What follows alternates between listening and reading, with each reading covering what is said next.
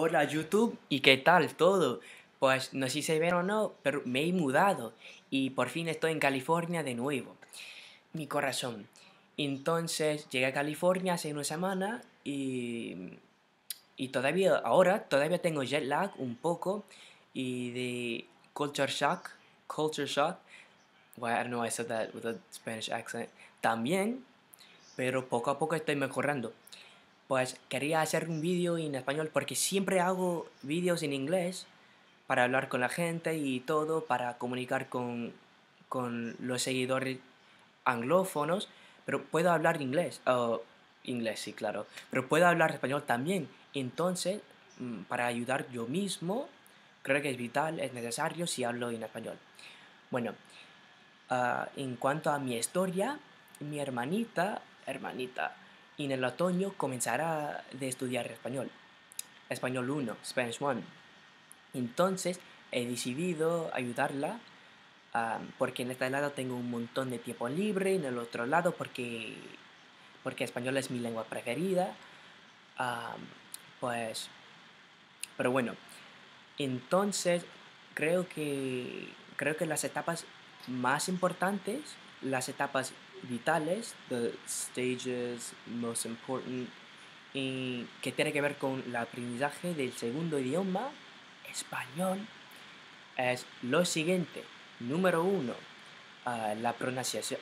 pronunciación. That was not planned, that was horrible. Mm, creo que la pronunciación es muy importante porque tiene que ver con el alfabeto y los sonidos también.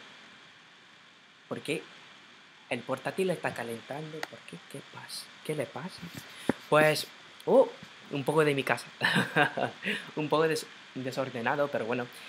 Y número dos, numbers. Los números son muy, importantes. Ah, no, ahora no puedo pronunciar nada. Porque, porque yo estoy en Estados Unidos. Echo de menos España. Pues, numbers are very important los números son muy importantes, muy vitales, porque tiene que ver con, con el discurso, con el habla también, y dinero y la hora. ¿Qué hora es? Son las once y media. Número 3. Greetings and introductions. Los, los saludos y presentaciones son muy, muy importantes porque si, si se quiere uh, conocer a alguien, ¿qué, qué vas a decir? Uh, uh, nada, entonces, hola, ¿cómo estás? Me llamo Tim, encantado conocerte, muy importante. Número 4, la gramática. La gramática es muy importante porque la gramática española es muy distinta y diferente de, la de, de inglesa. Entonces, sí. Y número 5, el vocabulario. Bueno, hay un debate entre vocabulario y gramática porque en este lado hay gente que, se dice la gramática es lo más importante. Pero en el otro lado hay gente que, que se dice el vocabulario es lo más utilizado y por eso lo más importante. En mi opinión, vocabulario. Pero después de todo eso, las frases. Las frases. Bueno, tengo un cuaderno lleno de frases desconocidas. Porque siempre cuando estoy viendo la tele, por ejemplo, una novela, no sé, una novela en Telemundo o Univisión, siempre escribo las palabras desconocidas. Porque hay un montón. Y tengo, no sé, 200, 300, algo así, de palabras que siempre repaso. Entonces, por ejemplo, tengo una frase como no me extraña. No me extraña means in English That doesn't surprise me. I'm not shocked. Otra frase. No puedes juzgar lo que no conoces. You cannot judge what you do not know. And I think going to English now that these are incredibly, incredibly important because without these phrases, you will start to think in English and make phrases in Spanish that won't make any sense, will have no meaning to Spanish speakers, to natives, or to me. And I but I might be a little confused, but I may understand what you mean to say because I do dominate English and a little bit of Spanish.